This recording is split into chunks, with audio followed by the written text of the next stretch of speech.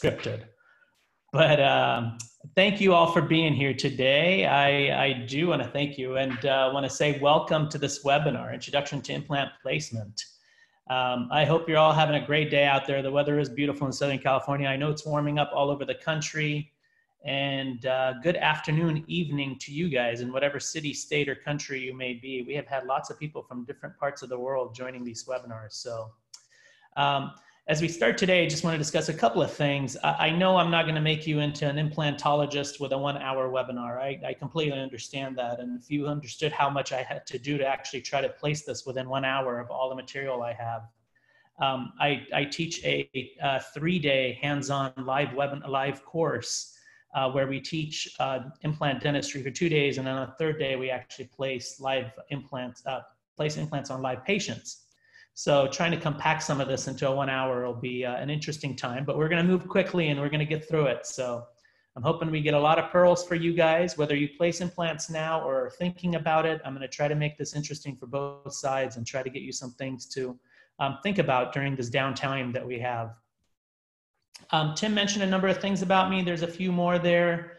Um, I am a member of Catapult Group, and I'll talk about that in a little bit more in a second. I'm also a uh, CR, CRA, uh, Gordon Christensen's group evaluator as well.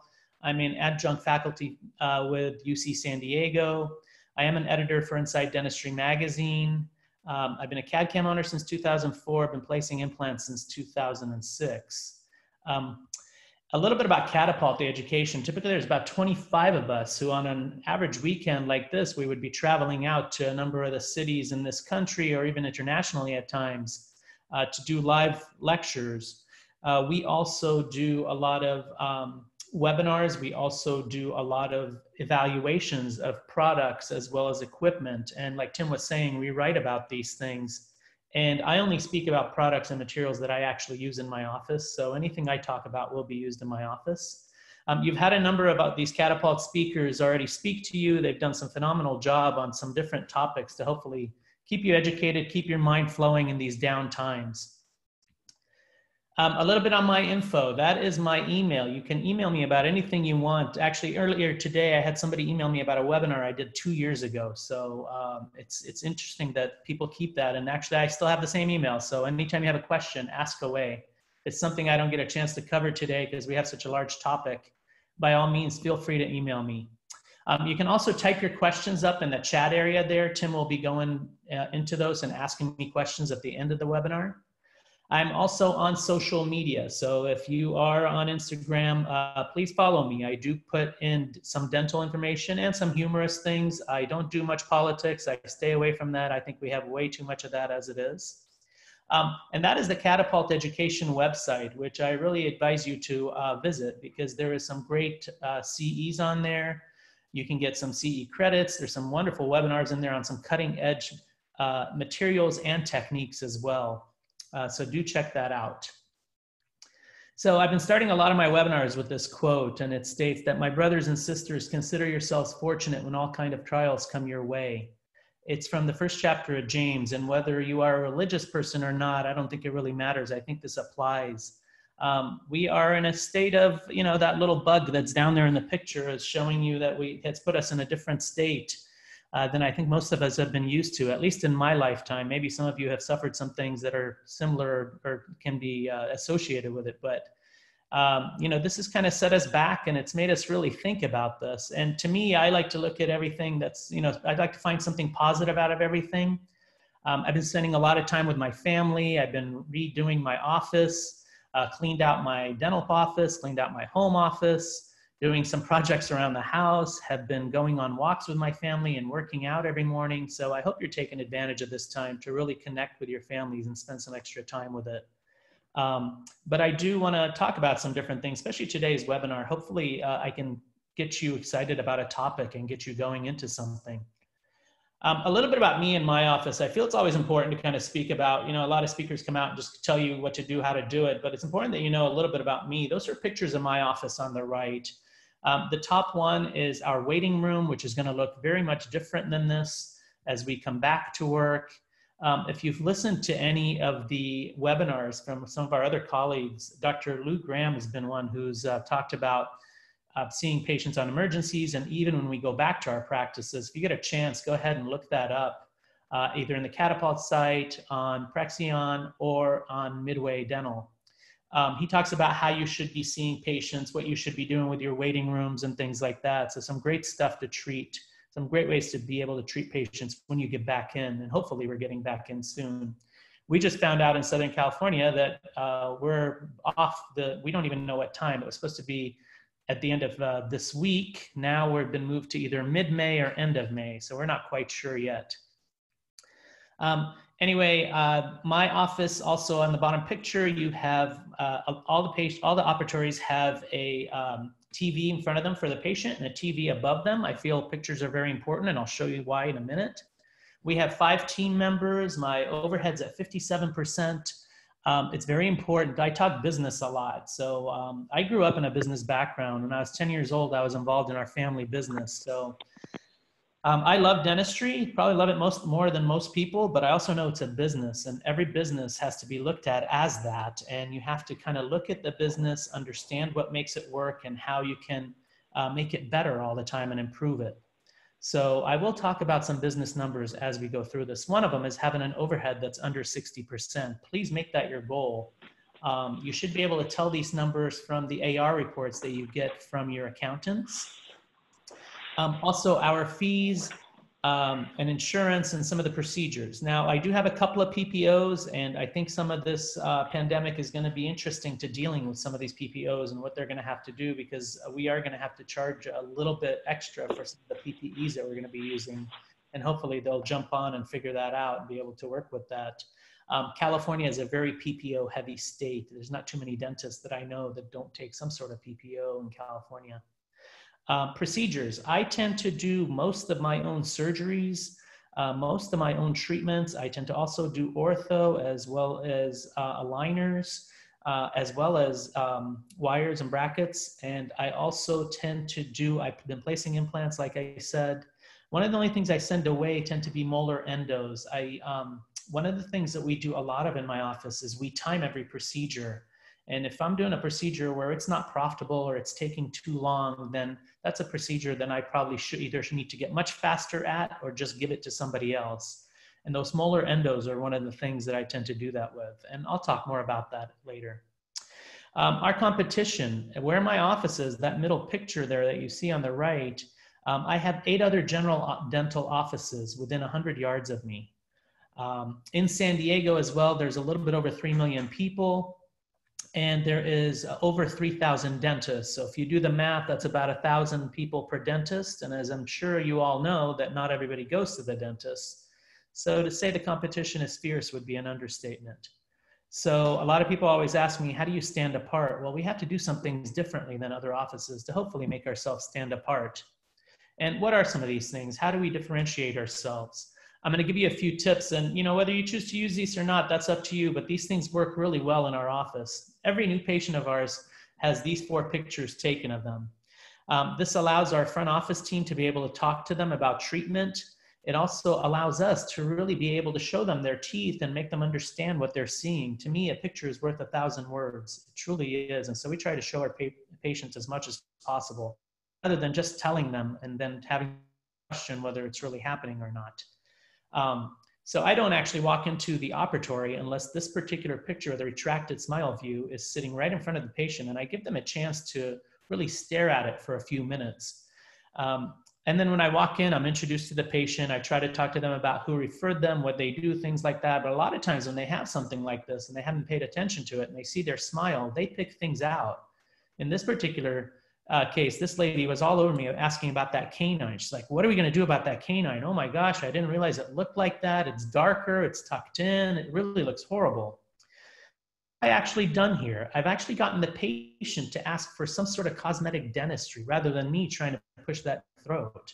You know, this opens up a conversation on whether we want to talk about veneers, whether we're going to talk about some form of ortho, um, she also found out, and I don't know how many of you saw it, but she has a little chip on the mesial buccal there of number uh, eight. So, you know, she's saying, oh, and I need to fix that chip. I didn't realize it was that big. The other thing that they tend to do, and this might be a Southern California thing, and some of my Southern California people, but no matter how white or bright their teeth are on the screen, they always think they could use some more whitening. And that's why we wind up having about 70, 80% of our patients tend to use some sort of whitening from our office. So these are a few little tidbits just to help you out with some cosmetic work once you get back into play. A couple other things that we tend to do to differentiate ourselves is uh, we use a CamX Triton HD camera. This camera has HD uh, uh, type photos it, it, takes for us, um, as well as it has fluorescent technology and transillumination. So with these, again, we try to show patients pictures of everything they need in their mouth. It allows our front office team to really be able to talk to them and show them what we talk to them in the back. And they're also able to use some of these photos for third party for the insurances in case they don't pay you or something, because now we have pictures of everything. Um, the fluorescence, my hygienist tend to take time and explain to them what they mean and show them that there's a cavity in there and what the colors mean and everything. And trans illumination, for those of you that have CariVu, you understand how that works. It's without radiation, you're able to see interproximal decay or different things that are happening within their teeth. So again, differentiating ourselves from others. All this happens within one camera. Um, and we also use a CBCT. We use the Prexion CBCT, and I'll be talking more about that later as we go. But we tend to use this every day for all patients essentially, and especially for implants, as we'll talk about a little bit later here as we get into. Um, from an implant survey, there are top three reasons why most dentists don't currently place implants, according to research, that is. The first one is fear. A lot of people have the fear of the unknown. You know, it looks daunting. You know, what am I going to do with it? Uh, just to be able to go cut into the mouth and do some different things. But I think the more you learn and the more you educate yourself, hopefully some of that will go away because knowledge is the other one. When they don't have the knowledge on this topic, um, you tend to kind of say, I don't, I'm not sure about this. That's why I really encourage you. And, and if you are not placing implants, by all means, take more courses. Um, that's exactly what I did because I was getting really frustrated with some of the patients that were coming back to me from specialists. You know, the specialists were in there and I would send them patients and I would tell them, take your time, build the bone, give me that implant in an ideal place and they'd send them back to me and the implant would be like this or you know like that. And they tell me oh yeah use an angled abutment. Well i didn't want to use an angled abutment. So i got mad enough to where i said um, you know if anybody's going to screw this up it's going to be me. So i took that upon myself to start taking courses and then i took um, live patient hands-on where i placed implant on patients and i'll discuss that more as we go but that was part of the reason why I, I, got into it. Also, the fact that I'm always craving new things. I think I get a little bit bored in my office and want to try something new and try to learn something new all the time. Um, it allows you for growth. It allows you for confidence, which this will too. A lot of times, people don't have confidence in placing the implant. Um, but I always tell, remind everyone, do you remember the first time you did a crown in dental school? Your confidence level was probably not the highest that day. I'm sure there were a lot of sweaty armpits. I hate even mentioning it because people it'll go people put it back in their heads and go back to that time. But you know, it took two, three hours that day. The more you do implants as well, your confidence is going to grow. You're going to get better and better with this. So remember that. That's basically how I did it too. And remember that change is very important for us. You know, um, if we don't adapt, if we're not growing, you know, what's the opposite of growth? That's that's you know not something that you want to think about. But change is good. It makes you think outside the box. It makes you grow your business, grow your office, grow yourself personally as well. Um, you know, it, all great change is um, preceded by chaos. Well, I can think of no better chaos than the state we're in right now. So if there's ever a time to think about changing or adding some new procedures to your office, this probably is not a bad one to be in right now. So why do we want to do implants? Um, you know, according to the AAID um, of 2017, they had a few different reasons in there why dentists might want to do implants. There's more than 30 million people in the US that are missing all their teeth in one or both arches. Um, so there's a good population to choose from. That's a good chunk of people to choose from. Um, also, you know, uh, that is growing by about 500,000 a year and more. And the fact that the implant market is projected to reach 4.2 billion by 2020, um, that gives us a lot of reasons to be able to want to do implant, besides the fact of some of the other things that I talked about of growth and confidence and some of the other things that you will gain from doing this. Um, also, only about 15% of US dentists are placing dental implants right now. I'm always thinking as a business that, you know, we should be doing things that other businesses aren't. we don't want to be a commodity, which like the physicians have basically become. The last thing I want to do is make my office just any other office. I want them to remember us for who we are. I want them to remember our name, to remember how unique we are from other offices as well. So this kind of does that because we're able to keep our patients in office and let them stay in. I, I, don't know if I can tell you how valuable that is when a patient can stay in one office and get most of their treatment done. They love that. They hate actually having to go to other offices to get things done. Um, so why implant dentistry? Uh, like I said, it's one of the most rewarding treatments in dentistry for both the patient and you emotionally, professionally, and financially, which we'll talk about here in a little bit. Um, again, the more knowledge you gain, the more confidence you gain, um, it also lets you think more. It gets you outside that box. And, you know, until you've placed hundreds of these, then kind of makes it a little bit where you've done, you know, where it becomes, you're not thinking about it as much. But a lot of times it's fun planning and, and treatment planning these cases. Um, it's also one of the most successful procedures in dentistry, 90 plus success rate. So I, I do want to ask you guys, if you do start implant dentistry and start placing them, please try and keep that success rate way up there by really learning what you're going to do and doing it very well. Um, okay, so let's talk a little bit about profitability. So in the US, the average of the implants is around 1800. Um, like I said, it's average. Your, some areas it may be higher, some areas it may be lower. In addition to that cost, there's also the abutment, the grafts. So the total is usually around 4,000 somewhere. So if you do uh, one implant per week on 50 implants per year, that's going to wind up being somewhere around 200,000. So let's say you don't do that in the first year and you do just half of that. If you did 25 implants, or if you're the average and do that 25 implants maybe, well, that's still an extra 100,000 to your production. Even if you did half of that, where you did one implant a month, you know that's not bad if you're getting about 50 extra thousand in production added to your implant and added to your regular production. So um, when you think about this three hours of work which is what the general average is and to be honest with you when it's a single unit a lot of times it winds up being less than that as you get more proficient in this. Compare that to the average composite procedure hourly production which is around 250 per hour uh, I think that 1333 speaks volume into what, how you could change what you do in your office. It may make you think about some of the procedures that you do more or less in your office. Okay. And then there's Gordon Christensen. It's funny, whenever I mention his name, it's sort of like the old E.F. Hutton commercials. Everybody kind of quiets down. Well, he says that general dentists should be placing about 50% of all implants where at least half the procedures are done by the general dentist, the more difficult procedures can be done by a specialist. So you don't have to do them all. You can cherry pick, pick the easier ones to start at first. Um, when I speak in my other courses and the longer two-day courses, I, I really go into detail. But one of the tips I always tell people is, you know, start out, always start out in the posterior. Try to do about 20 implants in the posterior before even thinking about anything in the anterior. Um, I had a young lady dentist who was in my course and she was taking it and she said that she'd already taken an implant course and placed implants. And I said, Oh, how did it go? She said, Well, the first implant I placed in my office was on tooth number nine. And so I asked, Oh, how did that go? She's like, Well, that's why I'm taking your class right now. so um, get comfortable in the posterior before you move to the anterior, is my big thing when you start this. Also, start on uh, friends and family. In-laws are great people to do it on. You know, those are you know by all means. One of my one of my brother-in-laws actually, I have like two or three implants in him. Um, but they're great people to do. And if you have to do some of them pro bono, which is free basically when you first start, that's okay because that's a place where you're learning. And, you know, that way you take more time and you can be more, you can be a little less stressed when you're doing it like that, not have to worry about what you have to do with a patient. So keep that in mind as well.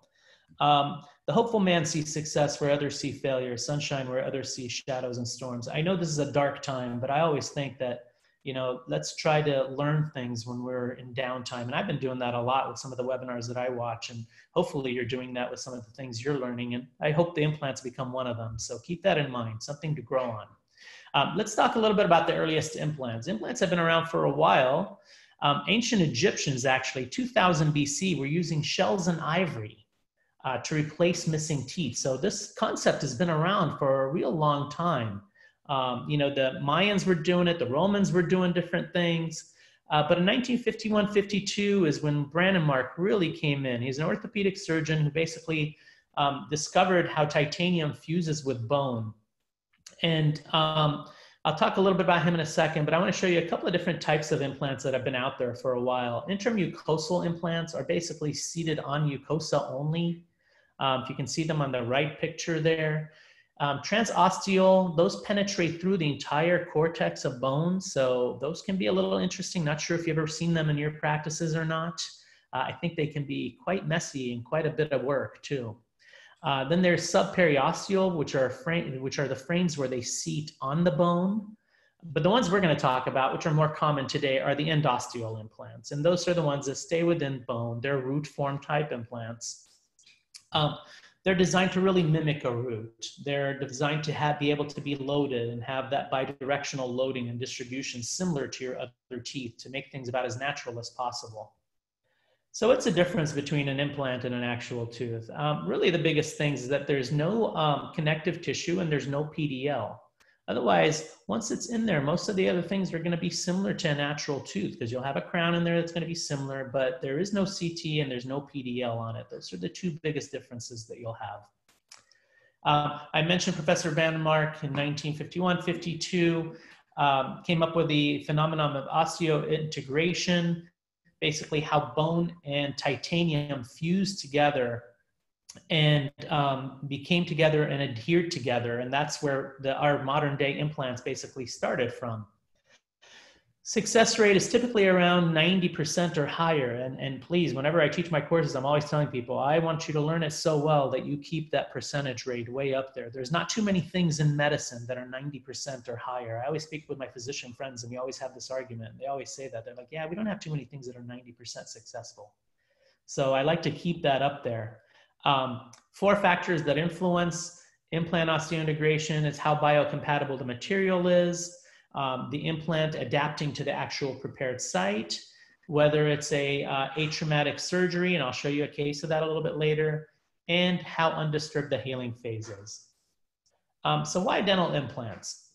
why do they make more sense? So um, times have really changed. I think we've moved away, a lot of patients have moved away from the uh, partial dentures, the full dentures, and even bridges. A lot of them come into our offices nowadays asking for implants. They've already done their research and they're like, okay, I want to look into this implant. You know, I, have been looking into it and I want to see if I'm a candidate, if I'm able to. It's no longer where really where we're really actually educating them on this. A lot of them already know about it coming into our practices and they're more demanding of more advanced treatments.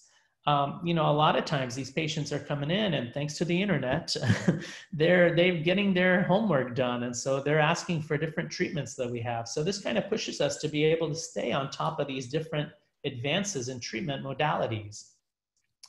Um, it's a very safe and common treatment. We talked about how successful the, how successful they are, and if done right, and if the cases are chosen correctly, and also when you don't try to step out of your comfort zone too quickly um, you know they can be very very successful. Um, the fact that they function and feel like natural teeth you know we're constantly telling our um, patients how they actually do feel like natural teeth. And a lot of times the patients you know i always ask my patients who have dentures or partials i always tell them when was the last time you had a steak?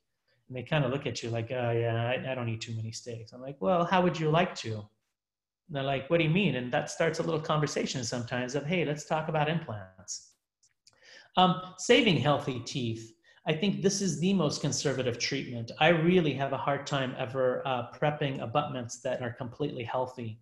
I've actually had a patient one time in my office. What we try to do also is um, we try to keep a implant uh, procedure uh, cost wise to be the same as a three unit bridge. So if I can take the price out of the equation, then my only issue typically is the time issue because implants do take a little bit longer than doing a three unit bridge. But I try to convince them how much longer they last, how much easier they are to clean with, and things like that.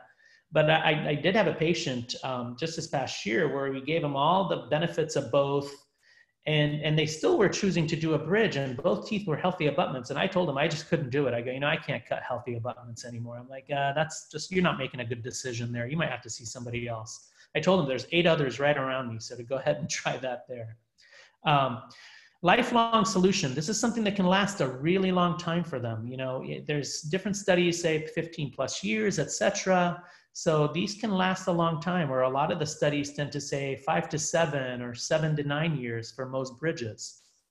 And I think it does improve their quality of life and self confidence. Anytime you place implants on somebody who had uh, who's had missing teeth for a while, or if they've had partials or dentures, it really does improve their quality of life and show them, and they show the confidence. Um, let's talk a little bit about case selection. You know, are you replacing one or more teeth as single units? We definitely do that. So we can support a bridge or eliminate the need for a partial denture. Um, a lot of times when I talk to patients, you know, people are always asking me, where do I get these implant patients? The best place to start is your own patients. I'm sure your own patient pool, there's plenty of bridges in there, which are either going to fail or are failing, or people who have partials or people who have dentures. Most of these are great, your own patients, and they have all this trust and faith in you. So when you tell them that you're now placing implants, most of the time they're gonna be like, great, I don't have to go somewhere else. We can just do it here. So keep that in mind when you're looking for patients. Don't jump on doing ads and things like this right away and get into costly things. Start with your own patient pool. Um, they provide support for dentures, making it much more comfortable, much more able to eat different things, much stronger in their mouth, a lot less movement.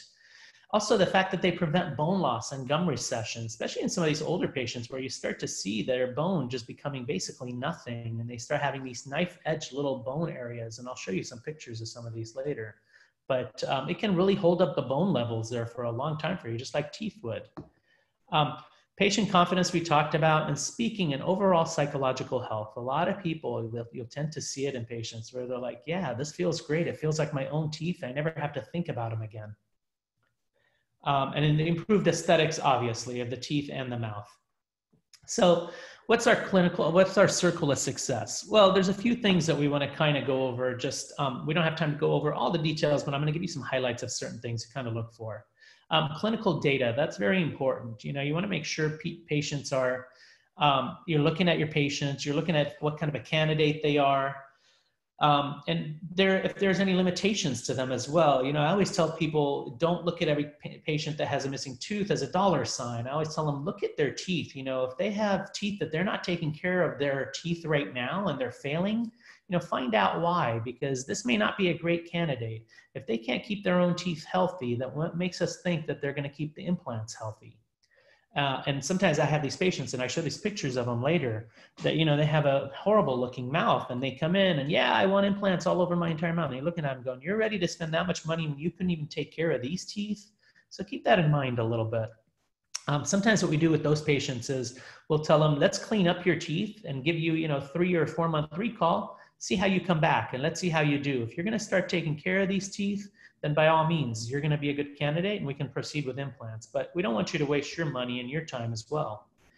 Um, radiographic interpretation, very, very important because we're going to go through that and how you need to look at a CBCT and how, a, um, how that's really going to drive a lot of your treatment, make your treatment, treatment really easy when you start using it correctly.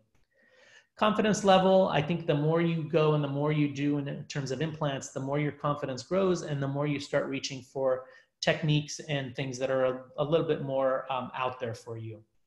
Um, limitations, you know, know your comfort level at first, understand where you're going, and be able to execute. You know, you have a treatment plan, have it done. Um, in my office, typically I'll spend about 15, 20 minutes just kind of planning a case on the CBCT. And if I need to, I'll actually, I, I rarely do it anymore, but I used to all the time draw out the anatomic, uh, the anatomical parts in the CT, but I'll show you that. But after a while, you do 10 to 15 minutes of planning with that. When you go in for the actual surgery, it's typically like a half an hour, 40 minutes, and you're usually done with a surgery. So spend more time planning than anything else. That way you kind of get in there and you're able to do it, not have to think about it while you're working. Um, let's talk about the bone evaluation. Um, the bone describes, you know, the edentulous area that's to be considered for the implant site, and what are some of the things that we want to look at. Uh, well, height, obviously. Um, width is one of those things where if you don't have a CT, you really won't know how much width you have. So I'll, we'll talk a lot about that and show you some different things with a CT. Um, a lot of this is taken care of by using uh, a CT scan and being able to tell the width, the length, the height of these uh, different areas, excuse me, angulations and undercuts as well.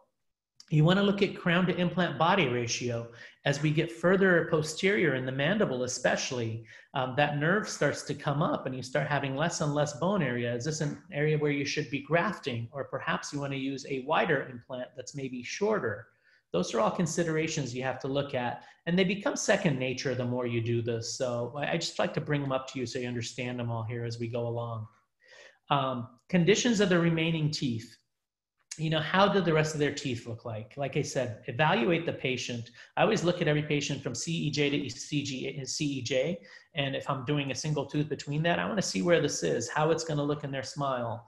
Um, we'll get into that a little bit more. An amount of keratinized tissue. How much tissue do they actually have? And how is this going to be in terms of, especially if it's an anterior area, are you going to be able to mend this tissue and get it working to where it starts to look like it's coming out of the mouth because you want these to look as natural as possible and as healthy as possible once you're done restoring them. Um, now pay attention to this one because I'm going to quiz you on the next slide here. So this is amount of available bone width. Um, I always recommend at least one to two millimeters of bone should be remaining after the implant placement to any anatomical structures. If it's the mental foramen, I usually recommend two or more millimeters away um, that's the one area in the mouth where I'll be honest with you that I really pay close attention to because I've seen that mental nerve do some different things around that area. But again, those are things that you can pick out in your CT scan. So remember, you want to stay at least one to two millimeters away from most anatomical structures. Um, you know, I usually go into anatomical structures for about two hours. So obviously we're not going to do that today, but I'm just going to give you some generalities here. Um, two millimeters, you want to be from tooth to implant. You want to have at least two millimeters ideally between tooth to implant. You want to have enough bone for that papilla to grow nicely. You also want to have enough, um, you want to also have enough vasculature for that implant to heal and grow and for the bone to fuse with it. And you want to have three millimeters between implant to implant. Those are some big numbers to remember. So remember that as I show you this. And typically in my classes, I kind of quiz a lot. So try to keep you in, in, uh, interested and keeping your head in the game. But uh, what's the minimum total amount of space needed for this case? Remember some of the things I just showed you, and I, I know this is a little hard to do with a webinar and we have you on mute, but um, remember that you wanna have two and three millimeters, three millimeters between implants, two millimeters between tooth to implant. So if you do all the math here, basically, you'd need about 24 millimeters here. I hope you all got that. So um, that's some of the math you have to do in some of these cases because then you have to decide, okay, look at the different lengths of these implants as well. You know, sometimes you need to avoid that maxillary sinus. Um, sometimes you can angle these a little bit differently. So you may have to go with not such a wide implant. These are some of the things that you have to play with as you kind of start treatment planning and going through. And here's a little bit of a, a hint here as we go through this particular slide. Um, let's talk a little bit about bone. Again, uh, there's four different types of bone in the mouth. I won't go through into the many slides I have on the classifications, uh, the Misch classification, Dr. Misch's classifications of them, but I do want to show you a couple of things in terms of um, quantity and quality of the bone. Um, the green areas showed that it's very good, mainly good, quality and quantity. That lower anterior area is probably the best area to place implants in because of the quantity and quality of the bone typically. Um, the yellow area means that the quantity is frequently insufficient, but that the quality is mainly good. It's not as good as the green, but it's mainly good. Um, and then the red area, the quantity and the quality are usually problematic, and that's because of the type of bone it is. It tends to be a little bit spongy. A lot of times the sinus comes into play. There are some different things which come into play with that that you have to think about and, and work with. So those are some things, considerations to have. Um, what are some considerations for a posterior single tooth implant and what are some of the advantages of it? Well, obviously longevity.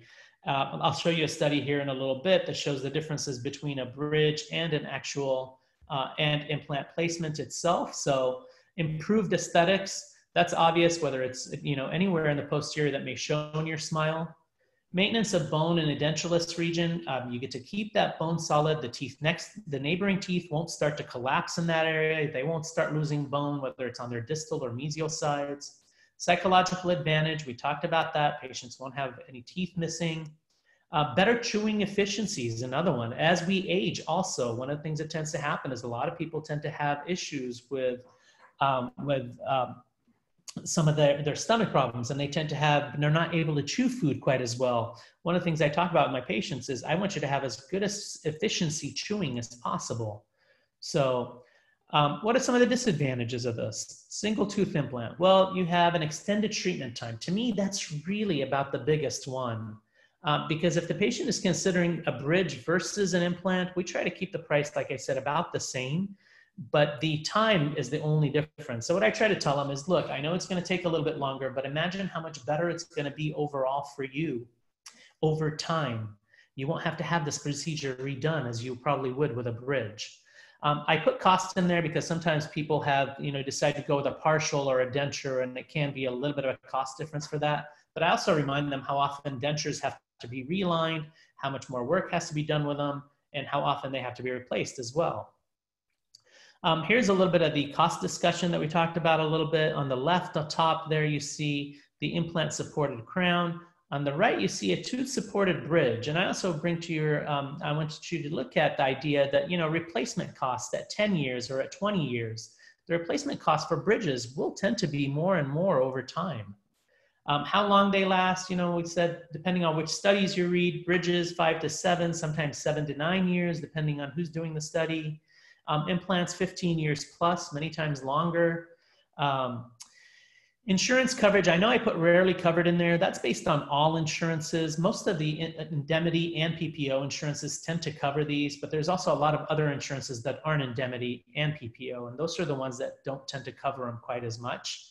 Um, long-term dental health, obviously little to no or bone, little to no bone or gum loss. And while the bridge will have some bone and gum loss, and typically that's the space underneath the bridges and they get more food caught in there. And usually the oral hygiene, if they're not using those special brushes and floss, that's where they wind up having problems and some of these bridges tend to fail. Like I said, the biggest issue I tend to find is the procedure duration, multiple visits over three to six months at times, whereas a bridge is two to three visits over, you know, two to three weeks. So uh, but as long as you give them the benefits of the implants, I think that's usually a not a sticking point.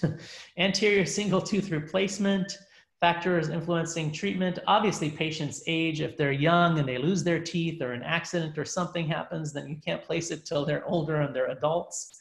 Um, patient desires. You know, sometimes I get these patients, they come in and they're you know they've been missing teeth for like 20 years and they're telling you oh i want this and i want this and i this and they had their tissue is horrible they have no bone and so you have to kind of you know talk to them about their expectations and, and their abilities and what you can do and how much more involved it's going to be to be able to get tissue there and to build the bone there as well. Um, patient compliance patient fear it's interesting. Um, patient fear is an interesting one. I have my own sister who's been needing like an implant forever and her husband i placed three implants in his mouth and yet she's still afraid to come do this. Um, so what I always don't like is like having the wives that push their husbands into having an implant procedure. I want everybody to be comfortable with this before they come in and do it. The last thing I want is somebody that doesn't want to be there, is terrified, and I'm having to sit there and work on them because of the partner told them to go do this. Um, cost is an influencing factor, obviously, and that's something we talked about. Um, transitional prosthesis, you know, um, depending on what you're doing, whether this winds up being a flipper or you wind up having a temp placed on the abutment and things like that, where you're helping with the healing and trying to get that tissue just right. Um, some of these are considerations you have to have when you're doing anterior implants, and sometimes the cost of those can be a little bit more. Um, also, aesthetics obviously is a big factor on whether um, they have a low smile line as well. Um, so let's talk about requirements for implants. Fixed restorations, if you're missing one tooth, obviously you need in one implant. If you're missing two teeth, typically two. Um, missing teeth, three missing teeth is going to be two or three teeth. Four missing teeth, it's going to be two, three, or four implants. Now, in a full arch bridge, uh, an edentulous maxilla, you want at least six implants. Um, and a full arch bridge on a edentulous mandible, you want at least four implants. Over dentures in an edentulous maxilla, you want at least four. I say at least because there's cases where I plan on having a case on, uh, on four implants, and then sometimes I'll put in a fifth. I usually won't charge the patient for it. When you're doing a case that big, the cost of one more implant is really nothing. Um, you want to add that in just to have as a safety net, as a backup, so you don't wind up really slowing down your treatment. And um, I, I, show that in some of the other courses that we talk about and talk about it more. I won't be able to do it as much today, but I'll show you some things here coming up. Um, edentulous mandible, you want at least two implants in there. All right, so we talked a lot. So now let's show you a couple of clinical cases. Um, this was Janet. She's a hygienist. She's my hygienist mom. Um, she had come in a number of years ago. She came in with her bridge that had come off and a uh, molar tooth there on the right, and um, also the tooth, the premolar there was fractured. So my first question to her was, um, what happened, whoops, what happened with your um, implant? Why is it buried under your bridge and why were you not using it? And I got the death stare from her because she said to me that, hey, I had paid for this implant. What do you mean it wasn't being used? Well, her implant was basically covered down there in tissue, if you can see, and was no part of her fixed bridge at all. So after talking her down and calming her down, we, we tried to figure out which implant this was, because as you can see, it, it's pretty solid in there. It's been there for a number of years and it's never really been used. Um, but the office where she went and had the work done was closed, so we couldn't find the dentist. We couldn't find any information. We eventually found out that that was a 3i implant and we were going to try to work with it. Um, this is an upper right bridge that had come off. And so we had, we had placed two implants around that particular implant and we were gonna work with that. There are gonna be a couple of different implants in there. But you can see that she has a fairly nice mouth overall and she does a good job of her teeth, but this was an area that's failing. And I'll tell you about the upper left side in a moment here in a second as you see it in that slide. Um, so we do some laser troughing around the implants and we um, take a full mouth impression. I always take a full mouth impression when I'm, whenever I'm doing two or more implants. Uh, if it's a single implant, I try to take a impression that goes at least to the opposing canine. One of the main reasons I do that is I want the labs to do all the excursion work and all the work there for me rather than me having to do it in the mouth and adjusting and going back and forth. I want my, my visit to be very quickly the day I give them their implant crown. Um, so we wind up placing the implants and we worked with that implant that she currently had, uh, wound up having some great bone support there, built her up real nicely. Um, so that came out real nice. And as you can see in this picture and her photo on the right, the implants even cleared up her face a little bit, made her lose some weight, it looks like. Um, but, you know, so this is a nine year post-op on her that's been going on. And now, unfortunately, we are treating the other side because it has the same exact thing as the right side did. There's an implant placed in there, and there, there's a fixed bridge over that where the implant is not being used. Um, so, you know, I told her, I go, hey, you got to use these implants, even though you paid somebody else for them. I still managed to keep them. It's not like I'm taking out these implants, I'm still using them. She's just getting them done many years after they were initially placed. Um, this is what her CBCT looked like and her panel. Um, this is an interesting case. This was probably about three, four months ago. Uh, it was a, I call it the Thursday lunch.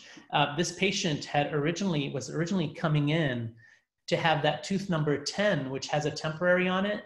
Um, it's supposed to be having a crown placed on it. So he walks in, my assistant walks in, and she tells me, uh, We've got a problem. And this was right before lunchtime, of course, you know, when these things always happen. Uh, and she says, uh, He fractured the other lateral. And I said, ah, so, you know, I kind of looked at it. I went in, I, I went in to talk to him, and he says to me, he's like, oh, gosh, doc, he said, the same exact thing happened to my brother. He had to go to one office for them to take it out, another place to go get a to go get an X-ray, like a big X-ray on it, and then he had to go back to his office to get the crown done and all this stuff. I said, well, you know what, you're in luck today. We're not going to work on that crown that we were going to place uh, cement permanently, but we're going to work on this today. Um, so the longest part of this procedure is um, taking out that, that current root atraumatically. You have to really take your time with that because the buccal bone, bone really sets the tone. If you break that, that's going to become a much more involved procedure. It's going to involve a lot more grafting, a lot more things that you're going to have to do. Um, but by being atraumatic and taking that out, placing it on the side, you can actually measure that to decide what size implant you want typically the implant you're going to place in there is going to be either a little bit longer or a little bit wider um, so that you can place it in there. It's slightly wider or longer as you can see in there so you can get a few more threads inside the tooth and be able to place that. But we were able to place an implant in that day. And then we placed our bone graft around that area. So we graft the buccal as well as the lingual around that implant. Then we place our membrane and then we suture that down and give him a temporary in there. So he came in looking like this, and he kind of, uh, he comes in with his x-ray, and then he comes out with something like that. So everybody always wants to know prices. So that that one hour or so that we took during lunchtime um, was about 265 for the extraction. CT was 285. The bone graft was 485. The implant was 1685. But getting it all done in one office was priceless to that patient. And he was so excited. He's like, oh my gosh, I'm going to go tell my brother about this. So, you know, and that's not a bad lunch. And I even had time for a quick turkey sandwich too. So, but that's a great thing to have. And the ability to do that in one office and having your patients be able to stay and you can do this, you know, you take, you, you're able to start from A to Z to do this. Um, let me go into a little bit about making things as simple as possible, but not simpler, as Einstein said. Um, I think one of the easiest things and one of the, the, things that's made implant surgery so much easier has been surgical guides. A surgical guide can really, uh, honestly, like I, there is a video that I show in my other courses where I literally close my eyes and I have a surgical guide on a patient. We place six implants in. And once I place the drill inside the surgical guide, I actually close my eyes at time because the, the, surg, the, the um, burr has a stop on it. I'm in a surgical guide. I know exactly where I'm going. It's just to prove a point of how simple surgical guides can make placing implants. Um, anyway, multiple implants, you should always use a guide. Two or more implants in a row, you should use a guide. And also if you're having a single implant for extreme accuracy, if you're in a tight area or if you're around some anatomic structures where you wanna make sure you're working correctly, absolutely use a surgical guide. Um, I try to teach both ways. I teach the surgical guide method as well as freehanding, flapless, and flap surgeries. So um, this way you'll learn everything from A to Z. And if you ever have issues, you can take care of it. But surgical guides allow you to have precise implant placement. Um, they're really great in that they less risk of compromising adjacent vital structures that we talked about. They enable flapless surgery, which is huge. But I always have my patients back a week after we do a surgery and the thing that I was asking is, how did it go? What did you think about the implant surgery? And they always look at me and go, gosh, the, you know, the, the extraction was worse than this. And you even numbed me more for the extraction. And I'm like, okay, well, that's what I want to hear. So make sure you tell all your friends that because that means the flapless surgery is very easy and, and very little. Most of the time, I, I rarely even give antibiotics on a lot of healthy situations unless I'm doing bone grafts and things like that. Um, so let's show you a little bit of guided surgery using the CBCTs because this can make your life truly easy and can really help you out in what you do. Um, radiographic imaging is obviously the backbone of accuracy in implantology. You have to have great radiography in order to be able to do implants. Um, periapicals and, and uh, pano x-rays, you know, I know they're fast and inexpensive, but they're only two-dimensional. They're nowhere near as accurate. CT scans are the standard of care, especially in implants, and they're also the standard of safety. Um, they're very accurate, multidimensional, and um, God forbid you ever have an issue with a court case. Uh, the first thing they ask you if you're placing implants is, did you have a CT? So a CT is the very minimum you have to have when you're doing these. Um, I think this picture on the lower right here is great, just to kind of show you, even nowadays, as we have emergencies and things like that, I think taking a CT scan on a patient is going to be much be better, cleaner, easier for us than having our uh, assistants go in and take PAs or you know bite wings or even full mouths if they're new patients. Um, this is a much cleaner procedure, especially now with the coronavirus. I'm trying to keep a lot of that to a minimum. Um, this is one of the things this is talked about by a lot of our colleagues and, and how we should be treating patients and what we should be doing. So make sure you're paying attention to this. And if you do have a CT, absolutely use it as much as possible in the next coming months. Um, here's another little study that talks about PAs versus CBCTs. The result of this study talks about that intraoral PAs would only allow clear identification of lesions 25% of the time, whereas a 3D CBCT imaging revealed the lesion 100% of the time. So accuracy is huge and very important here. Um, what is CBCT? I've been using that term a lot. Well, it stands for cone beam computed tomography. It was introduced into the market in 1996 into Europe. Uh, it came to the United States in 2001. I believe it's the most significant technological advancement there is in imaging. It's the ability to really truly diagnose. It's the ah and aha that you find. Um, your patients are going to be ahs, uh, are going to be odd, and you're going to say aha when you find things that other dentists can't find because you're using a CT. Um, accuracy of the information is about 0.1 millimeter. You are able to get extremely accurate three dimensional uh, image of the site you're working at. You're able to access not only bone, but infections, decay. You can see all these vital anatomic structures. You can draw out nerves, uh, bone concavities. You can see where everything is and really have a great idea of where you're working before you go into an area. It also has the ability to use uh, the simulated implant placements, and I'll show you some of these in a second. Uh, the PreXion software is great for that. They have most of the large implant company softwares in there, so you can actually place the implant, look at it, change sizes, make it longer, wider, whatever you want before you actually do the surgery. And you can also base your um, surgical guide based on that as well. For those of you that have digital impressioning uh, capabilities, CAD-CAM, CBCT, um, not CBCT, sorry, CAD-CAM, you're able to superimpose some of these STL files and really get a great idea of hard tissue and soft tissue and plan your restorations out as well. So cone beam versus pano.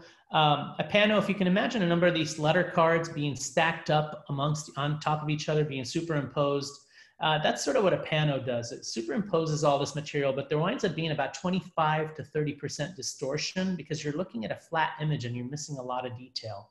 The difference with a CBCT is that you can take each one of these slices individually and look at it really cleanly and be able to look at it in 3D and turn it in every which way to kind of understand and see what's going on with it. Some of the other limitations of 2D, as you can see, we can all see that the woman is holding a pineapple in her hand there, but not having that other view, that third dimension, we, we're not able to see that she's holding a banana in the other hand. And do we need more views? Well, I think we do, because in this particular one, the prince looks like he's being a little mean to his reporters. um, but when you actually look at him from an AP view, he's actually just still speaking. So I, I do think we need more views, and it really makes sense in the implant world.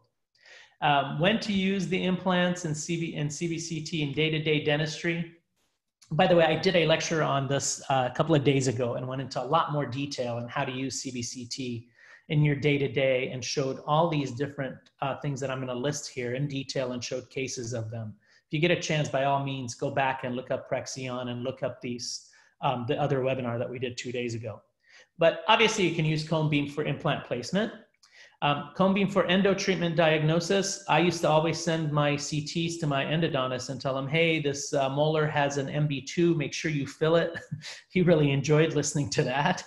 Eventually, he got his own CT. And most of the endodontists, like I mentioned, uh, pretty much all have CTs now because they understand in order to be able to see what these canals look like, how many there is, how they're turning, or whether to do apicos, they really do need a CT as well um, cone beam for uh, decay diagnosis, and I show lots of slides in that in the other webinars. So uh, third molar extractions to evaluate them, whether you decide to take them out yourself or whether you want to put the patient into sedation mode and, and, and uh, take them out or whether you want to refer them. Uh, you're really able to truly see, and I'll show you some of that in 3D, how you can uh, decide whether you want to keep them or not. For those of you that do TMJ treatment diagnosis, there's some great shots in there that'll show you those. Apicoectomies, as I mentioned, the diagnosis and treatment planning of impacted teeth, and whether you do ortho not or ortho planning, um, this is very important. You're able to see where these teeth are, whether it's to you know take out crowded teeth or to help the orthodontist place them in the correct position, or whether you're doing the ortho yourself. Uh, perio diagnosis and treatment planning as well. Um, grafting procedure, I think, is a no-brainer for any of you who aren't doing that. Absolutely, most any teeth outside of wisdom teeth should be grafted. That way, you give the patient the opportunity to actually still be able to get an implant, whether they do it at the time or down the line. Um, so do that. That's an increase in your production as well. Cone beam for treating airways. It, the, the PreXion CBCT is fantastic for that. They have a software that's built into it that allows you to understand and see how much air volume they have, airway volume they have. It'll color it out for you. It'll, you can measure the area. A lot of times I look at my new patients and once I've looked at the scan, I go in there and I ask them, I go, how do you sleep? How do you sleep at night? Do you sleep okay? And they look at you like, wow, he knows something about me. And then we get into this conversation of airway and uh, sleep apnea and things. I'm not diagnosing, but I'm starting them in a, in a down the road of, hey, let's get a sleep study and think about whether we send you to an ENT um, or somewhere to start looking at this more seriously. But the, the cone beam CBCT does have that, so it's fantastic for that. Um, new patient exams, all our new patients, we do actually take a CT scan. Um, sometimes the children, maybe sometimes not, but a lot of these, even with the FMXs, Average FMX is about 170 microsieverts. The average cone beam that we take is going to be a lot less. I'm going to show you that here in just a second. So you'll see that it's usually like half or less. So we're actually radiating them less and getting way more information. And by having a CBCT, you get to see a lot more things that are failing in their mouth than you ever thought possible. Um, let me show, oh, there we go. So let's understand some terminology and field of view. I know I'm running late a little bit. I told you, Tim, I had a lot of information, so uh, I'm getting through it here. Uh, field of view and some image components. Coronal is looking at a CBCT from front to back. Axial is one of the best views because you're looking from top to bottom. You can slice a tooth every which way you want, even into the contact area, so you can actually truly see if there is decay in those contacts, um, as well as being able to see the width of the bone, which is a, a great thing for implants. Sagittal is side to side. You're able to kind of cut through the tooth, uh, cut through the face and, and slices from side to side. Now, what sizes do this particular um, CBCT have? So you can have different sizes. Some people always tell me, well, I don't want to look at the whole mouth and be responsible for it. Um, you can do a five by five of just the area you're working in. A lot of times endodontists tend to use this field as well. It's very effective for endo, or if you just want to do an area that you're just doing a single implant in. Um, I'll be honest with you, most of the time we take the um, 10 by 8 vision because that's very comprehensive, allows us to treatment plan well, um, allows us to do implant surgeries, and we're able to diagnose uh, TMJ as well. Um, now, the 15 by 13 is great for um, airway, for TMJ analysis, ortho, um, and a lot of times, you know, depending on what our patients sign in and fill out our patient information, I'm usually telling the my assistants which type of um, which CT size we want to have taken on them. And for those of you who are talking, who are thinking about radiation and dosage levels, uh, if you look at that 10 by 8, and if you do a rapid form, it's only 25.2 microsieverts. If you do a standard form, it's 78.3. Remember, I said the average FMX is around 170 microsieverts. So we are giving them less, half, half or less, depending on which one we take. And look at some of these scans. You can really be able to see what's going on in the mouth, really tell some great detail of what's happening within the mouth. Look at the anatomical structures. You can see you know the sinuses. You can see exactly where they go to and you're able to measure within 0.1 millimeter to these. So you can be extremely accurate in what you do and how you do it um, so obviously using the axial form here on the right you can see that that really helps us see how wide the bone is because a lot of times and i'll show you in the next x-ray if you look at this particular slide by looking at the sagittal view you may see that hey you know that had plenty of bone there. Well there's a lot of length there. That should be fine for an implant. But then as you look at the left and you look at the axial view you can see that the bone does have some issues there. And if you were just to place that implant right in the center half of it would be sitting outside the bone so that's why it's crucial to be able to see and understand things in a cbct um, also, you can draw out all your structures. Like I said, I used to do that uh, like all, all the time when I first started. And it was kind of fun to do. But then after a while, you learn where it is and you just kind of work around it. But for those of you that want to do it, it literally takes like a minute to draw that out and see exactly where the nerve is. And then the next step you would do is place implants in there to see what size implant you want to place, whether you want to make it longer or shorter, or if you want to place that implant deeper. You know, there's a lot of different things you can do. You measure the bone, you measure your implants, and like I said, the software has a number of different implant companies um, implants in there. So you're able to place them and check and see that, whether you want to do this uh, by freehand or get a surgical guide for it. You can also do things like this. It takes you about a minute to do, but you can show the patient very well how they maybe their wisdom teeth are wrapped around the nerve, and maybe you you could be something that you want to do or something that you might want to refer either way that's fine but it really allows you and gives you the choice of how you want to do this and whether you treat you want to treat these kind of patients or sedate them or just refer them out altogether um, so lots of great stuff to be able to show your patients and make them understand we also show crowding in this and show them what's happening with their teeth we also show them bone loss and things like that in this so it helps with ortho acceptance as well um, so a lot of times i get asked which cbct well PreXion is the one that i'm talking about um, this was my second uh, CBCT. My first one I had some major issues with. PreXion has been awesome. One of the great things that they have is they're the only ones I know that have a 10 year warranty. It's the only one in the industry. Bumper to pumper 10 year warranty is unheard of in the uh, CBCT industry.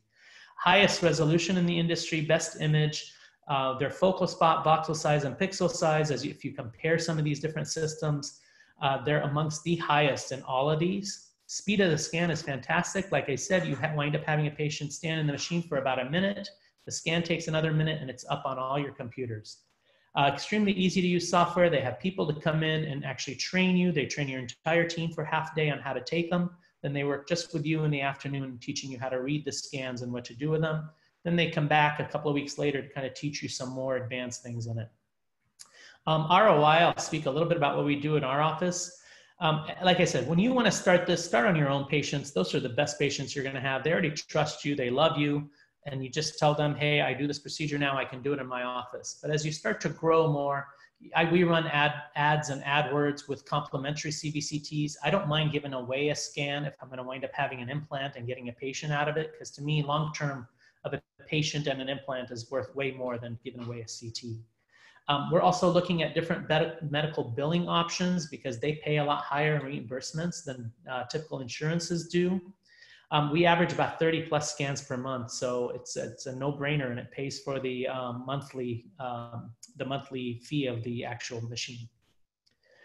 So, you know, a couple of things I just wanted to say uh, now that we're finishing up here. I know I ran over time a little bit, Tim, but um, sometimes good things fall apart so better things can come fall together uh, and my, my music kicks in and there will be better days and i do hope there are for you and for everybody involved but um, do keep that in mind this is a great time to learn something new and if implant dentistry is something you want to get into you know by all means do get into it because with every door that closes a new one opens and i truly do believe that um, so thank you for being a great audience. And uh, Tim, if you want to take it from the, my email is there if you have more questions or if you have questions you want to ask Tim. I know we have a few minutes left here. So Tim, go ahead and ask away if you have anything. You know what? There's there is one question on uh, 2D versus 3D. So the Pano versus uh, PreXion machine that you have. Sure. Um, what's the acceptance rate, and did it go up? Um, because going to a lot of these meetings, I hear people say, "Well, it could be. I think it is. It might be," versus a cone beam that you can actually. Yeah, no, absolutely. Um, I believe our acceptance rate has gone up tremendously. Now you got to remember, we're an office that likes to show everything. We like to show pictures of everything, and we'll show those scans. And you saw that little digital video I showed a little bit.